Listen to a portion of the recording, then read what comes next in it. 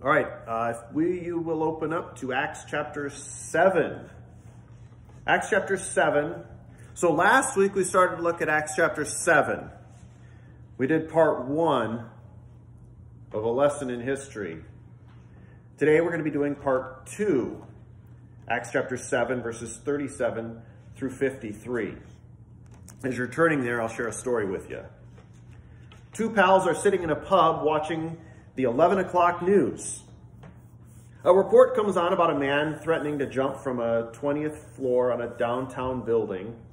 One friend turns to the other and says, I'll bet you 10 bucks the guy doesn't jump. It's a bet, agrees his buddy. A few minutes later, the man on the ledge jumps. So the loser hands his pal a $10 bill. I can't take your money, his friend admits. I saw him jump earlier on the 6 o'clock news. Me too, says the other buddy. I just didn't think he'd jump again.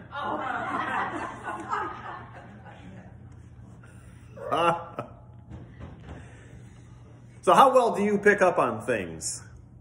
Some people are pretty oblivious in life. Some of us are like that fellow, and we cannot see what's going on right in front of us. God has shown us what has happened to prepare us for what will happen. We have some awesome history preserved for us in the Old Testament. And last week we started to look at Stephen's address to the high priest and to the council. Stephen gives an account of the history of Israel as a defense for why he's standing before them. They've accused him of things. They brought up these false accusations. They've, they've trumped up these charges against Stephen, this man who was full of faith, full of grace, one of the first ones chosen by the church for service, and what many of us consider the first deacons. So Stephen now has a giant target on his back. Satan has decided to go after him. And these people are mounting these accusations. So now Stephen has the opportunity to defend himself. So how does he decide to defend himself? He doesn't say, well, it wasn't my fault, or he doesn't plead insanity. He doesn't do any of these classic defenses that many of us have seen over the course of time. His defense revolves all around the history of Israel. And so last week we started to look at this. Part one, a history of Israel. This lesson in history. So Stephen now, as we continue this, part two, Stephen is giving an account of Israel for his defense. Are you picking up any of the things that he's putting down? He's been telling us about some stuff we looked at last week. Stephen is giving us a lot of information. He's going through thousands of years, centuries of time of the history of Israel, and he's going real quick, almost as fast as I would. Are you tracking with any of it? Are you learning from any of it? Would you be able to retell any of this information if an opportunity presented itself to you? And do you know where Stephen is going with all of this? It's very interesting to me that this guy who's been accused of all this stuff decides to use the history of Israel as his defense. And as we get closer and closer to the end, it becomes more and more obvious why he decided to go this route. There were six elements to this defense that God wants you to see. I want you to see this historical defense given by Stephen. I told you last week there were six elements to this defense. We looked at three of them. The first three last week, verses 1 through 8. The first element of his defense was promise. If you have your notes, this is probably already got this written down. The first element of his defense was Verses 1 through 8, promise. Verses 9 through 16, prosperity. And then verses 17 through 36, provision. Did all of my good Bible students read the next section and figure out what the next three elements of this defense was? I gave you a hint. They start with the letter P. Nobody? Well, here we go. Here's the answers. The fourth element in his defense, verses 37 through 43, is problems. You know, those first three elements were really nice. Things seemed really good. We got Moses on the scene. Everybody seems to like Moses. Okay, okay, we can do this. But you know what ends up ultimately happening when things look good? We end up with problems. Fifth element to this defense, verses 44 through 50, is priority. As we downgrade with problems, we lose sight of the priority. Then finally, the sixth element of this defense, verses 51 through 53, is persecution. This is what Stephen tells us about. So, let's dive in, verses 37 through 43. Let's start to look at some of the problems that are going to pop up as we mosey through a history of Israel. Verse 37. I'm going to read verses 37 through 43. Tell me if you can figure out what the problems are that arise. This is that Moses who said to the children of Israel, The Lord your God will raise up for you a prophet like me from your brethren. Him you shall hear. This is he who was in the congregation in the wilderness with the angel who spoke to him on Mount Sinai with our fathers the one who received the living oracles to give to us, whom our fathers would not obey but rejected. And in their hearts they turned back to Egypt, saying to Aaron, Make us gods to go before us. As for this Moses, who brought us out of the land of Egypt, we do not know what has become of him. And they made a calf in those days, sacrificed, offered sacrifices to the idol, and rejoiced in the works of their own hands. Then God turned and gave them up to worship the host of heaven as it is written in the book of the prophets. Did you offer me slaughtered animals and sacrifices during 40 years in the wilderness, O house of Israel? You also took up the tabernacle of Moloch and the star of your god Remphan, images which you made to worship, and I will carry you away to Babylon. What are the problems that pop up? We've had such wonderful times. We've been given this promise. Things have been going so good, and Moses is on the scene. How could you go wrong with Moses? Well, we have some problems now, don't we? There are some issues that come up. Just when you think life is going well, there's going to be some problems. Moses said to the children of Israel, The Lord your God will raise up for you a prophet like me from your brethren. Him you shall hear. He's talking about Jesus. And one of the early prophecies of Jesus He's coming. You'd think everything should be okay. We're on track here, right? right. Wrong. Because guess what happens? Moses is going to go up on Mount Sinai. He's going to receive the Ten Commandments. We've read this story. This is a very familiar story for us. He goes up on Mount Sinai. He's going to get the tablets, the Ten Commandments. Things are going great. But you know what? He's up there a long time.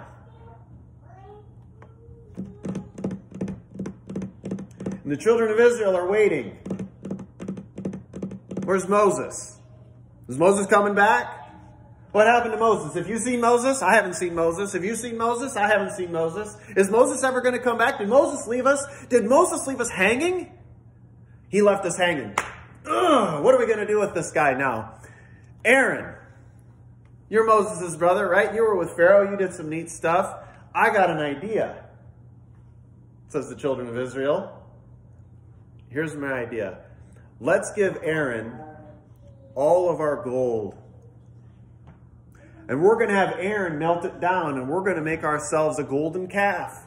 And that we will worship instead. We want to go back to Egypt anyway. You know, we actually had food to eat when we were there.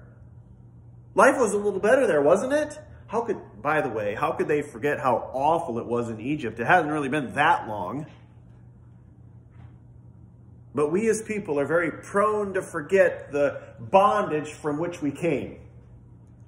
And the people just wanted to go back to that bondage. They wanted to be back in Egypt. They were tired of waiting for Moses. They were tired of waiting for what he was going to bring to them. And they decided that they were just going to go off on their own and do their own thing. I'm glad that doesn't describe anybody here. I'm glad none of us have ever acted like this, like children. Have you ever acted like this? You ever done this? You decide things aren't going your way. I'm tired of waiting, and so I'm just going to do what I want to do. When I want to do it, how I want to do it, where I want to do it, where it's mine. I suspect that we probably are more guilty of this than we care to admit. And while this isn't confessional time, in, in your own heart, on your own piece of paper, you could probably write down two or three times of when you just decided you were going to go it alone. Because you were either tired of waiting, you didn't like the results, you didn't have enough faith to get past what you were going through. And so you had Aaron build yourself a golden calf. How'd that work out for him? Was that really, was that really the best thing that they could have done at that time? I mean, we have the benefit of hindsight. You know what they say, hindsight is 2020. We can look back and we can go, wow, what a bunch of dummies. Can you believe these dummies actually built a golden calf? Can you believe how foolish these people were? How did they not know Moses was going to come back? I mean, it's real easy to be a Monday morning quarterback. Real easy to tell somebody else how they could have done their job. It's real easy to be a backseat driver. He's cute. He's fine. You know, it's real easy to call somebody out when you already know all the right answers. And that's what was going on. We have these problems. They do happen. They will rise up and things are going to go sour. Things will go south. And that's just the way it is. And that's what happened to these guys. Moses comes back down and he loses it. Guys, what is wrong with you? What's going on here? And he tells God, you know, let's just start over. Let's kill them all. Let's just start over. And God's said, no, no, we're not doing that. But you know what? I wonder if God was displeased with them. What do you think? I don't think he was thrilled. But we have these problems. And so Stephen makes a turn in his defense here. We have all these great things. Moses is on the scene. We've got uh, promises given to Abraham, and we got the patriarchs going on. Things are going great. And Stephen says, you know what? There starts to come a time where there's a group of people that are going to go against what God is trying to do. Do you recognize who these people are? Can you spot them in your midst? Those that are opposed to what God wants to do, where God is trying to go. I told you last time that God is a God that has a, a linear line that he's following. We don't serve a God that goes in circles. We have a God that's trying to go in a straight line. He's trying to go somewhere.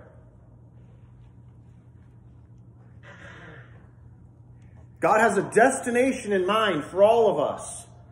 God has something special in mind for all of us. He's got a straight line that he's following.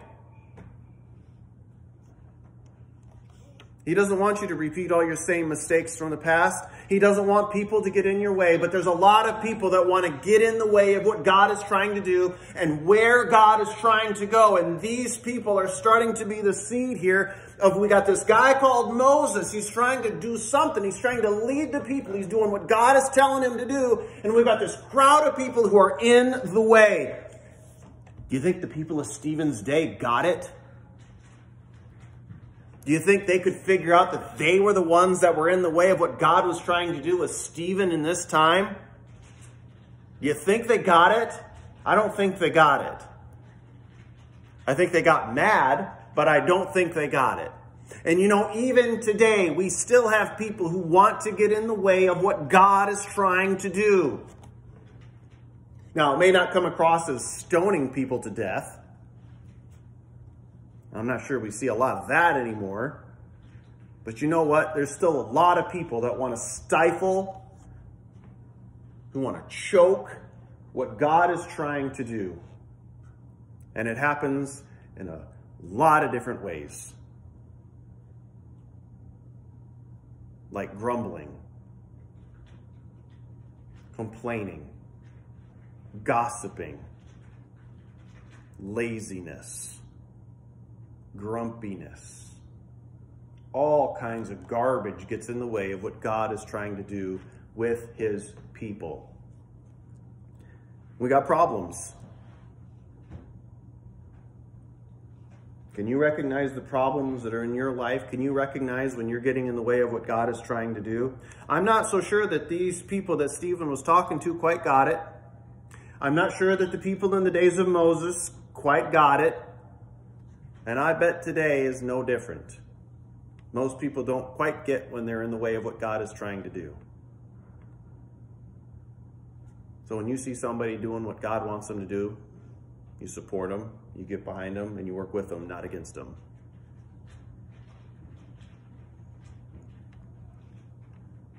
God is trying to wake them up here in verses 42 and 43.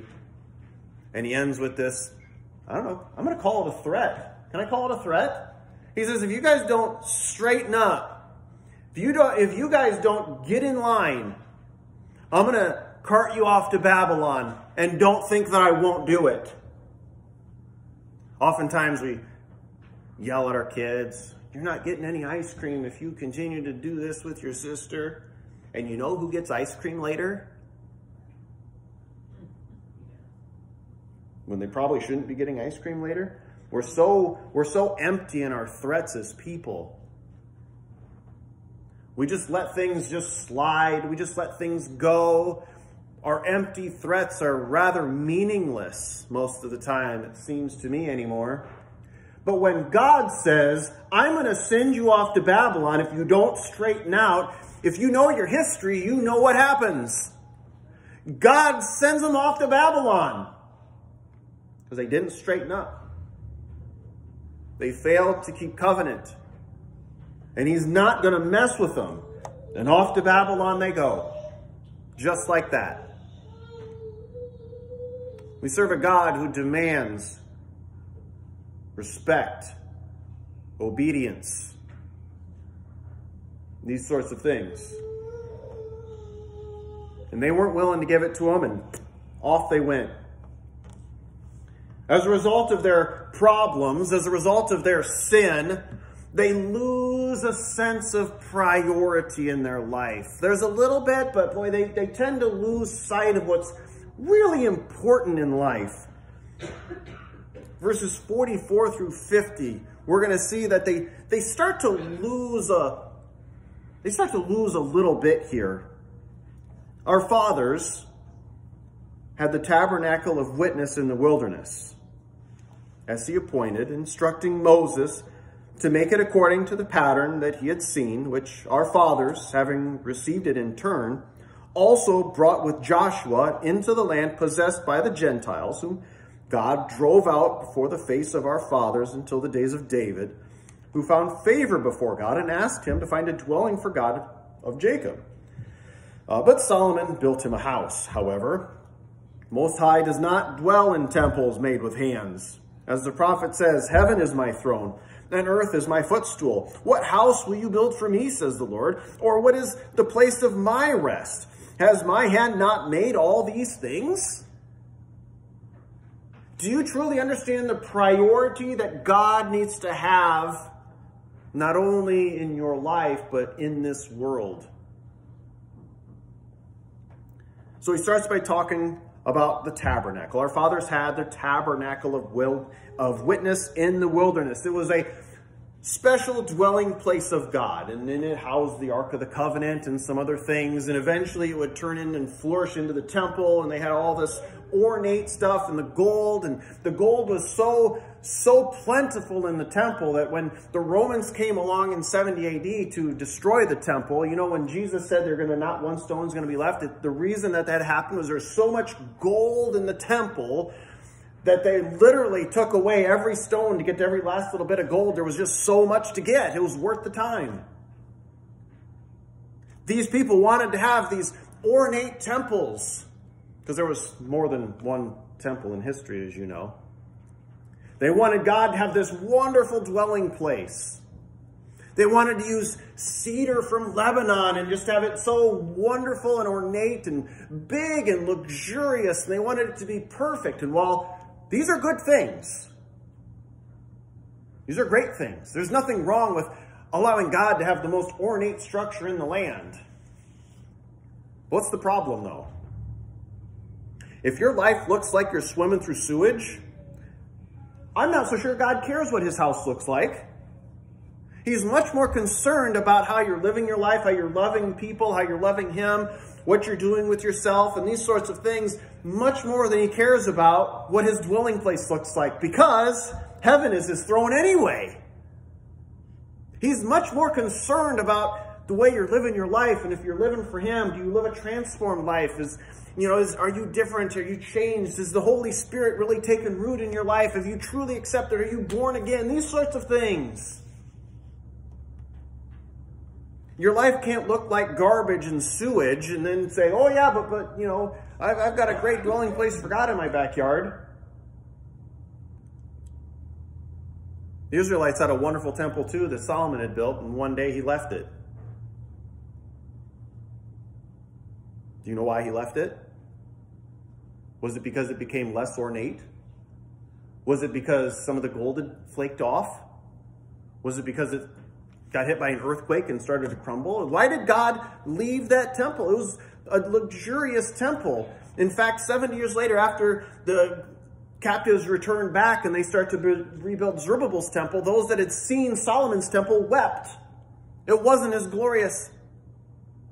So why did the Spirit of God leave that glorious temple? Because the people weren't there anymore. They didn't even notice when he left.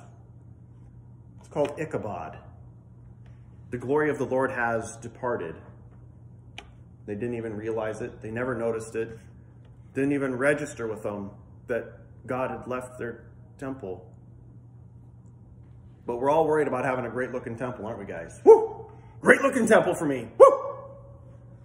yeah, that's great, but what's the real priority that you should have in your life?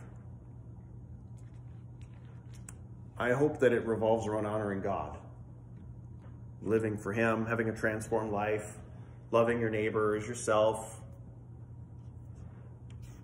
these sorts of issues. You know, these are the issues that we struggle on. It's real easy to build a really great looking temple. I mean, you could hire a million craftsmen to do that. They're probably a dime a dozen. But to find somebody whose life truly reflects the priority that they place on Jesus Christ, now that is tough to find. And as Stephen is telling this to the high priest, to the council, do you think it's beginning to set in? That the priority that we need to have in this life doesn't revolve around all of these external issues. These guys were so weighty on these external issues that they completely lost sight of what the priority ought to be for all of them. They were so focused on making sure we kept every last little part of every last little law to the point that it became so cumbersome and so not helpful. Well, they did it anyway, though, because that's what was important.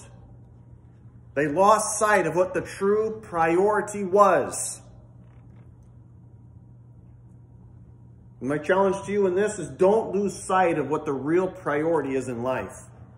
We have a lot of priorities for sure. And just because we have good priorities, I mean, that's okay. I mean, I'd like to have a good job.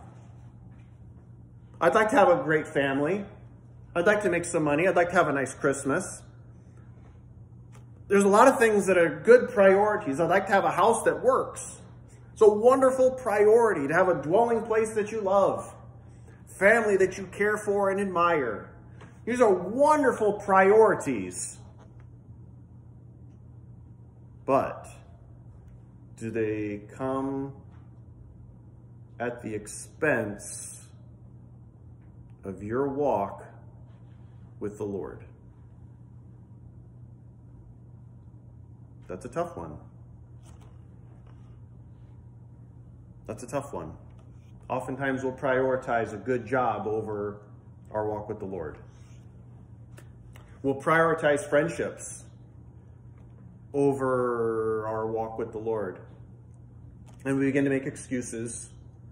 Yeah, but these these three guys, they've, they've been with me for a long time. I know we go out and get drunk at the bar, but still, they're my friends. Are they? Where's your priority at? You seem to be prioritizing these three fellows pretty highly, but what about your walk with the Lord? Where's your priority on that? Are you doing things that demonstrate that a walk with the Lord is your top priority? Are you going to continue to love people even when you get dogged on? These are tough issues. These are very tough issues. Joshua continues. David continues. David wants to build this temple and his priorities in the wrong place. And God's got to straighten him out. You remember, this is probably my favorite story in all the Bible when David wants to build God a temple. He says to Nathan, I want to build God a temple. And Nathan says, Go do all that is in your heart. So David goes to bed, and Nathan gets a visit from God. Nathan's told, You got to tell David he's not building a temple. Priorities in the wrong place. I appreciate the offer. I think this is a wonderful thing that you want to do this, but the priorities in the wrong place. We've got to have number one be number one. A lot of times, this is what I, one of the things that I like to say is, a lot of times we like to major on the minors. David was majoring on the minors. Children of Israel were majoring on the minors. Our priorities in the wrong place. And oftentimes we too can start to major on the minors. We tend to think of everything else as more important than God.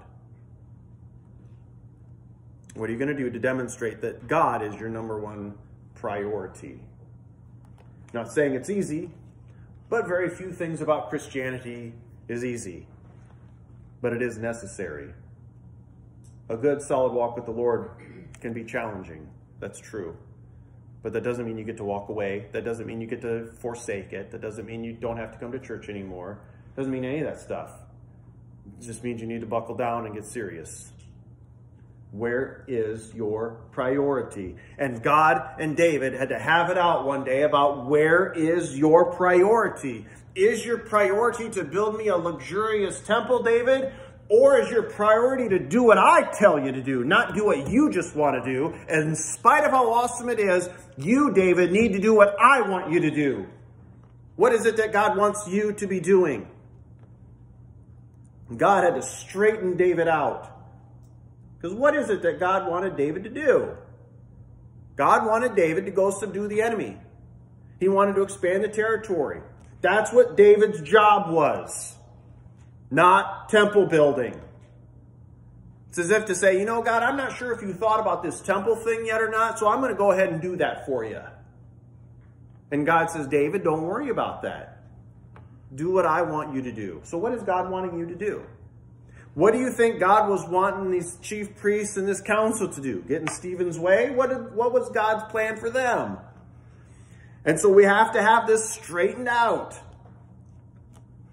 And you know, when you start to straighten people out, when you start to tell them what God wants from them, and you know, I'm not so sure that he wants you to be doing this, uh, but I actually think he wants you to be doing that. And when people don't like to hear that, because sometimes they don't because they think they're not wrong. You ever try to straighten somebody out and then they're just never wrong? You ever talk to these people? They're just never wrong. You can tell them till you're blue in the face that you need to be at church, you need to be reading your Bible, you need to be doing this, you need to be doing that, and they just don't think that they're wrong and they think that you're kind of dumb. All you know what ends up happening? Persecution.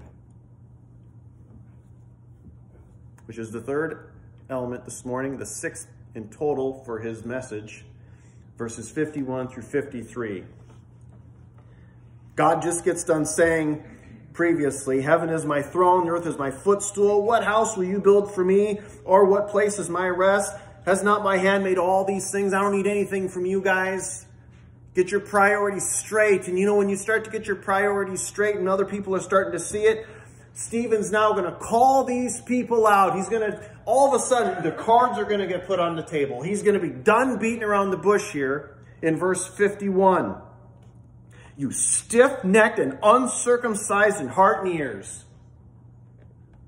So tomorrow, when somebody's giving you a hard time, if you need something to call them, a biblical a biblical threat? Is he threatening them? Is he calling them names here? But something biblical to say would be you stiff-necked and uncircumcised in heart and ears. Stephen just lets them have it. No more beating around the bush. No more innuendo. No more guessing. You stiff-necked and uncircumcised in heart and ears. You always resist the Holy Spirit as your fathers did. And he just got done walking them through how their fathers were disrespectful, were not prioritizing correctly, causing all kinds of problems in spite of how God set it all up for them so that you just had to walk through it via the promises, the patriarchs, these sorts of things, give Moses, whatever, the Ten Commandments. We all you had to do was just walk in line, guys. For whatever reason, you always resist the Holy Spirit as your fathers did. Wow. Let them have it. Which of the prophets did your fathers not persecute? Kind of a rhetorical question. As we know, most of the prophets were killed. Not all of them, but a lot of them were. It was not. Uh, it was not the most healthy profession to be a prophet. Ezekiel's wife is just killed just like that by God to prove a point. It was rough to be a prophet in those days. Tradition tells us that Isaiah was sawed in half. It was tough to be a prophet in those days, guys. The persecution was horrendous. Martyrdom constant. Which of the prophets did your fathers not persecute? As if to say, you guys just couldn't leave well enough alone.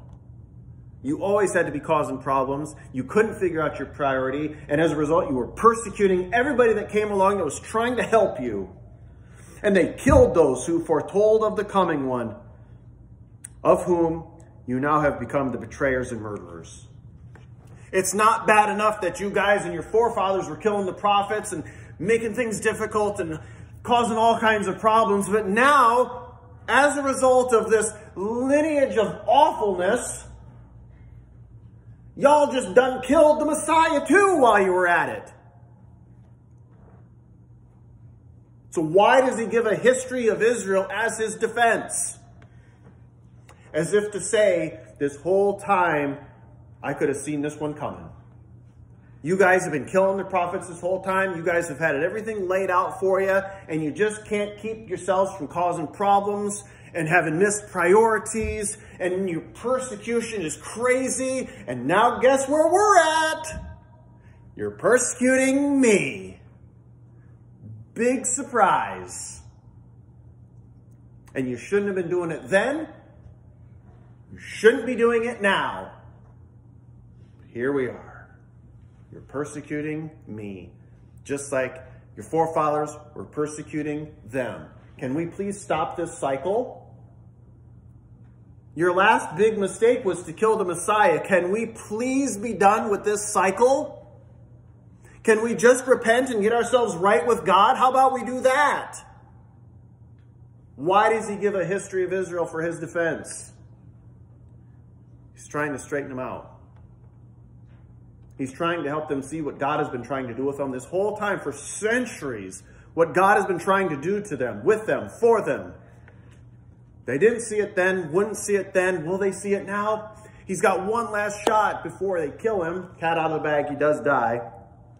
One last shot to straighten him out. One more time. He's going to give him this history to help straighten him out. How does he do, guys? About as good as any of them ever did and they're going to kill him too. And they killed those who foretold the coming one of the just one, of whom you have now become betrayers and murderers, who have received by who have received the law by the direction of angels and have not kept it. You have been given everything you need to make wise and good decisions today Everything. You've been given the law. You've been given prophets. You've got scripture. Because remember, at this time, there's no New Testament, you guys, right? Remember you're on this? There's no New Testament yet. But what they did have, the law, the prophets, the scriptures, and he reminds them, you have everything you need to make all the right decisions here. You know this history. You know what has happened in the past, and you know that Jesus is the Christ. So, what are you going to do? No, I'm asking, what are you going to do? You know the prophets, you know the scriptures, and you know the law, and you know that Jesus is the Christ. What are you going to do? It's as if Stephen could preach this very same message to any church in America today. You know all the right answers. This history has not changed. Don't be like that guy from my opening illustration and, and just think that if you just read it a second time, maybe it'll be different. Maybe you'll come to a different conclusion. No, the conclusion is the same. Whether it's 6 o'clock news or 10 o'clock news, Jesus is still the king. Jesus is still the Messiah. Stop trying to look for something else or figure it out or make some excuse about somehow you don't have to do this or answer to this. You have to answer to God in the end, and He's told you exactly what you need to do. So stop making the excuses, stop causing the problems, and start making the right priority the right priority. Stop majoring on the minors and do what it is that God wants you to do and stop getting in the way of what he's trying to do through you. He wants you to accept Jesus as the Christ. He wants you to repent of your sins. He wants you to get right with him. And he's given you everything you need to do that. The only thing stopping you from doing that is you. If you would just believe, believe in your heart that God raised him from the dead, and you will be saved. You could be forgiven of all the sins that so easily ensnare you. If you would just believe. Repent of those sins that put Jesus on the cross. I bet Stephen was preaching hard to these guys. Oh, he's probably letting them have it. We're going to find out next week the result. I already told you the result, but we'll go through it next week in a little bit more detail. What happens to Stephen? And what happens to us when we try to share this message with people? We might not get killed, but it's, it's not easy being a Christian. But it is necessary if you want to have forgiveness. Let's pray.